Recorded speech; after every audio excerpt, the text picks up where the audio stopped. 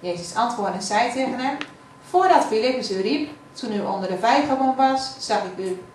Nathanael antwoordde en zei tegen hem, Rabbi, u bent de zoon van God, u bent de koning van Israël. Jezus antwoordde en zei tegen hem, omdat ik tegen u gezegd heb, ik zag u onder de vijgenboom, gelooft u.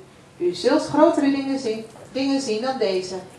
En hij zei tegen hem, voorwaar, voorwaar, ik zeg u allen, kom nu af, van nu af zult u de hemel geopend zien en de engelen van God opklimmen en neerdalen op de zoon der mensen.